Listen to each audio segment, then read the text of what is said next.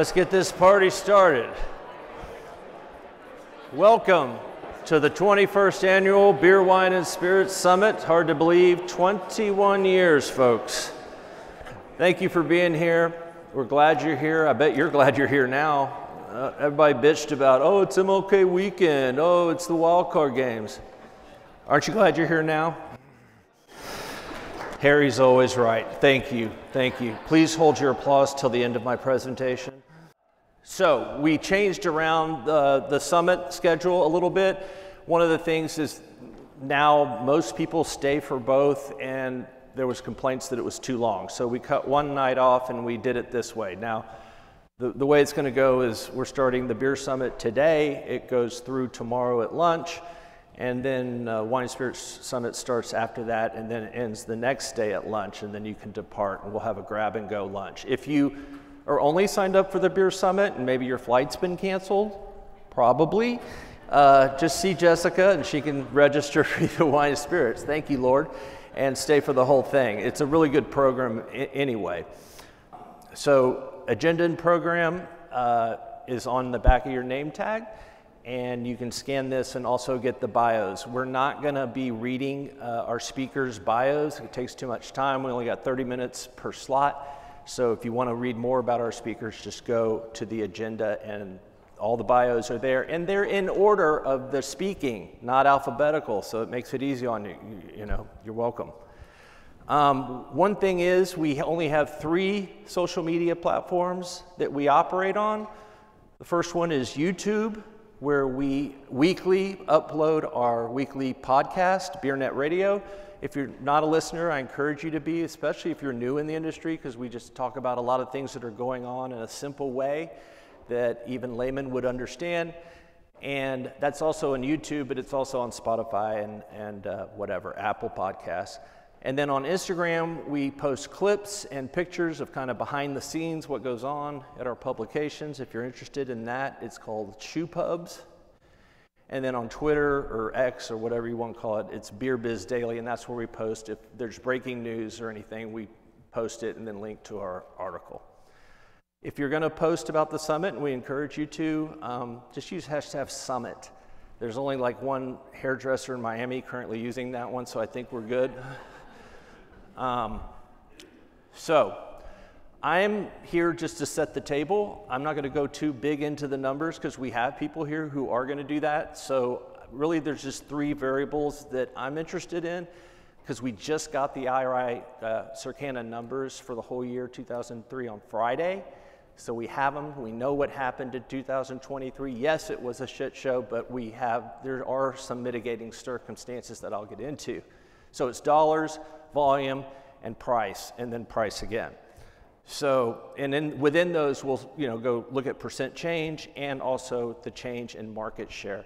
Percent change to me is more important when you're looking at smaller brands and smaller suppliers. Share change is more important when you're looking at larger brands and larger suppliers because obviously it's the actual volume that's changing. So, here we go. Supplier performance. Uh, this is for the full calendar year. Of course, uh, we know uh, Anheuser-Busch lost four share points of volume. Um, we, we know we don't have to go into the reasons why. I think we all know what happened there with Bud Light. Um, and I'm looking here at volume share, and I'm looking at, you know, normally I look at dollar share, but I feel like this year, this year meaning last year, we should look at volume share because we had such wacky price increases the previous year that dollar share is a little bit misleading. Um, Constellation and Molson Coors each gained about the same amount of volume share, um, which kind of leads me to believe that Molson Coors benefited more from the Bud Light debacle than Constellation did because Constellation was already running uh, almost at this level. Mark Anthony Brands, uh, a, a, seltzer play, really held in there. Boston Beer, also a seltzer play, didn't not so much. Heineken and Diageo holding their own, really uh, just matching the industry. And then you have uh, Kirin Lion, which, you know, New Belgium is just on fire, uh, unlike the rest of the craft industry. And we'll have the CEO of New Belgium here to talk more about that. And if you want to say that Kirin and Pabst Brewing Company are cleaning up, then Yuengling is just mopping the floor at twice the share gains of the other two. We also had the Pabst CEO speaking. So, big year for most of the players. And if you want to go down to the brand level, and this is all channel, um, again, Modelo Especial almost gained a point, Bud Light down three, and then Michelob Ultra is hanging in there. The interesting thing about Michelob Ultra is it's, a little bit surprising. Michelob Ultra is still the number one brand in supermarkets. Number one. And that leads me to believe that Michelob, that Modelo Especial still has a lot of room not in grocery stores. Coors Light and Miller Lite uh, both gaining significant share. Corona Extra still gaining share like that. I'm glad that we have Jim Sabia here to talk tomorrow more about that. The rest are pretty much as you would expect them. Heineken hanging in there. And then, of course, Twisted Tea's just and Fuego uh, up a tenth of a share point, but also uh, pricing is up $1.72, which is the most of any of the top 20 brands. So uh, that's a good thing when you raise prices and you increase volume share to that level. Um, if you look at segments, no surprise, domestic premium uh, lost a share point. That tells me that the what Bud Light lost, we didn't regain with all of it with other brands. Imports, of course, up 1.76. Domestic subpremium not doing, uh, still losing share, which is surprising. Nobody's trading down. FMBs and Fuego again, up almost a share point. Domestic super premium, that's Mich Ultra.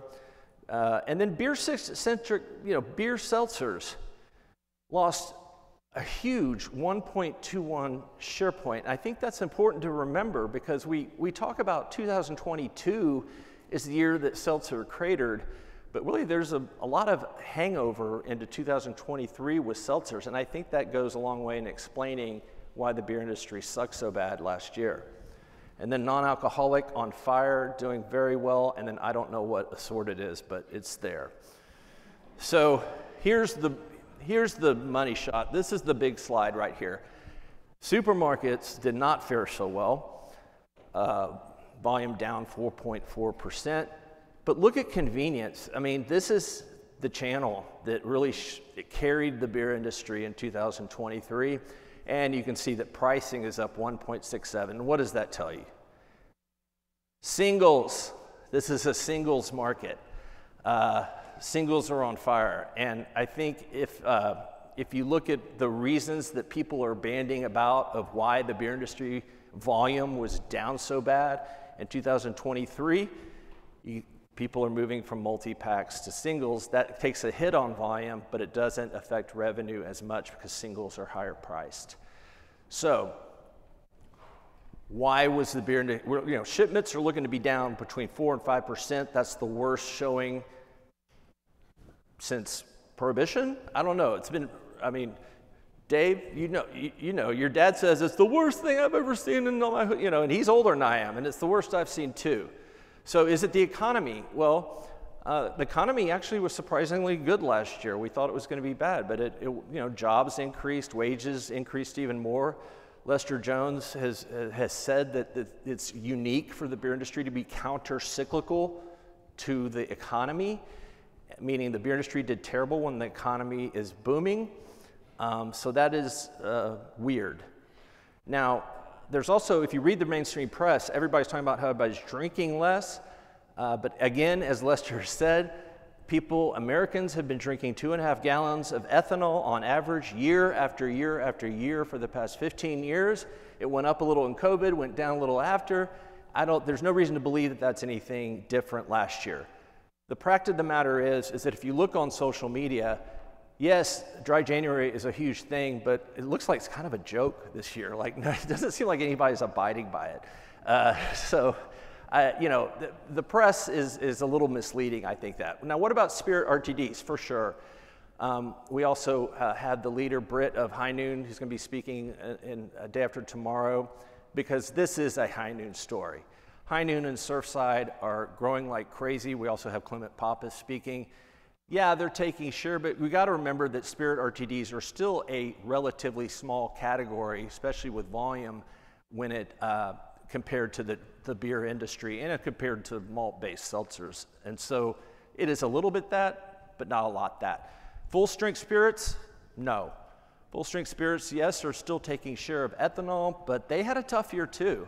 Um, and I think the spirits companies have had a real challenge in translating their full strength spirit brand names into an RTD canned package.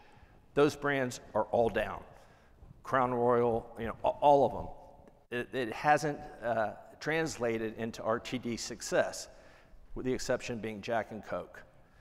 And we'll see how that does. Cannabis. Cannabis is just a mess, right? Um, cannabis reminds me of the wine business. It's agriculturally finicky. It's um, uh, there's no branding, and it presents itself terribly at retail. Now, we're talking about the legal cannabis market, and so that's a whole mess. We'll get into that because, you know, Vivien Azer, who's speaking next with me, has pointed out that two thirds of drinkers or, or, or cannabis users are, are, uh, report that they are drinking less. So I definitely think cannabis does have an effect on the beer consumption, um, but I don't think it's all the legal cannabis. There's just a huge illicit market that's booming, so it's really hard to measure. And then there's the X factor, and I, I think I think we've kind of hit it at what that X factor is. There's a reason the beer industry's down. Yes, we do have a category problem. I will sit here and admit that. But we also had two huge price increases in 2022. Of course, volume is going to hit down. Again, from Lester, if you go back to 2008 and index the CPI at 100, wine CPI is now today at 110, which sucks. Spirit CPI is at 115, which also sucks for them. And then beer is at 143. This is the metric of why beer volume is down, I would submit above anything else. Now, regular CPI is also at 143 or 46. So beer has kept up with all other inflation. It's just that the wine and spirits guys haven't. And yes, some of that is because of different package sizes and moving to RTDs, but beer is, you know, let, us put it this way when an elephant foot of Tito's is almost the same price as a 30 rack of Bud Light, people are making that calculation. And that's nothing new. So, so to summarize, counter cyclical, yes, but I would also submit for whom? Beer industry indexes more toward lower income people. We know this. And I think while the general economy did very well last year, that lower percentile of income earners were still hit hard by inflation. And I think that, that hits beer more than it does wine and spirits. And number two, uh, singles are roaring in, in C stores. That's great for profitability. It's not great for volume. If you're just buying singles, you're not drinking a, a lot. So suits, 30 racks, kegs, all the big packages are hurting.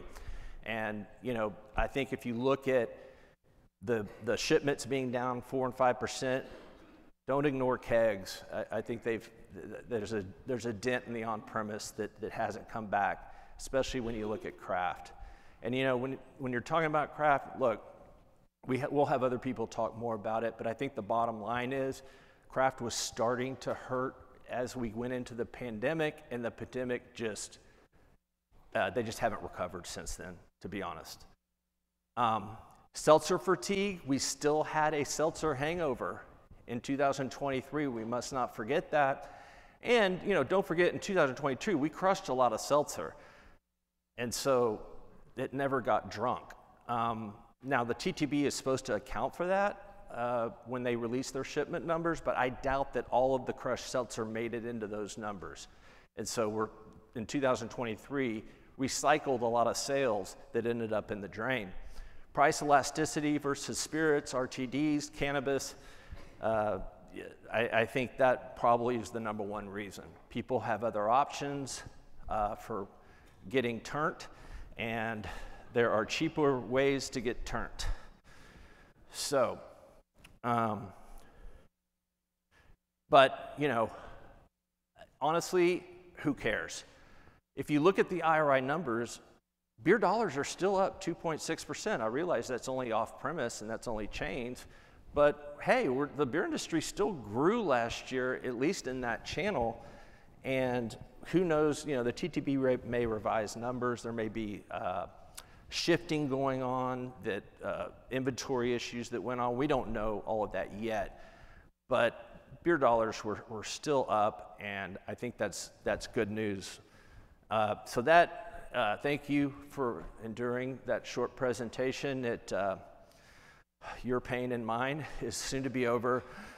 Um, that's me and my dog Biscuit. We're looking into the future for a glorious and happy beer industry. I really do think that 2024 is going to be a good year for beer, not just because it's cycling shitty numbers, but because the pricing will have all fixed itself out. We won't have that seltzer hangover, and we just have blue skies ahead, and then the Bud Light shits behind us. So I think um, 2024 is going to be a good year.